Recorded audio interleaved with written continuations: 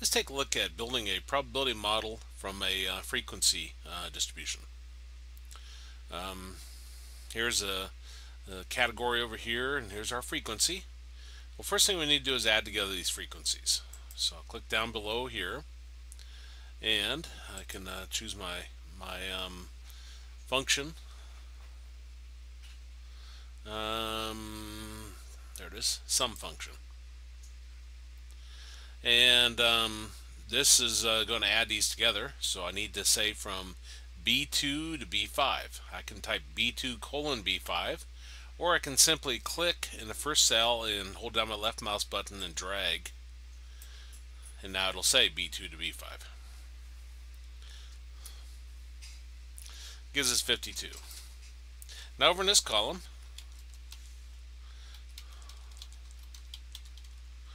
is going to be our probability. And click here and uh, paint format and copy it over there. Not that it matters. Now um, I want to do an equals and I want to have B2 divided by this this one down here. Now that's B6 but um, let me put B6 there.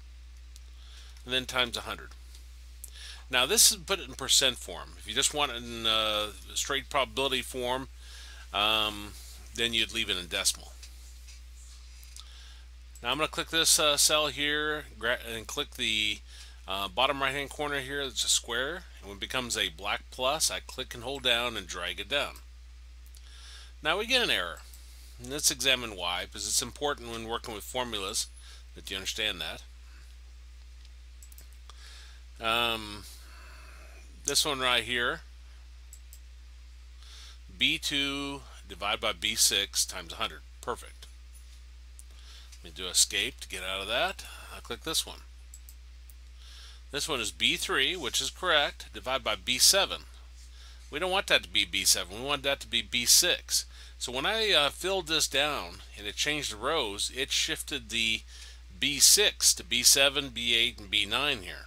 And that's where my issue is. So I'll press escape.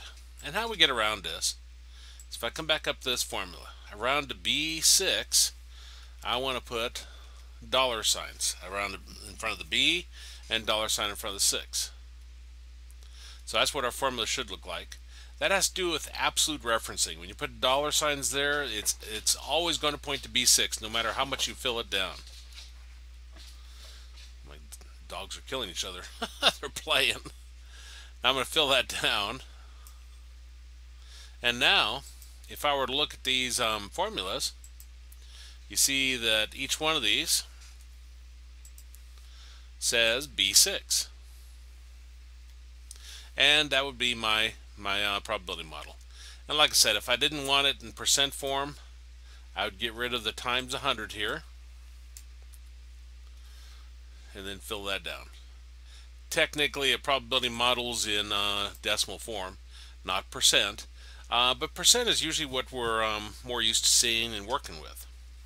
But that's how to build a probability model in um, Google Sheets.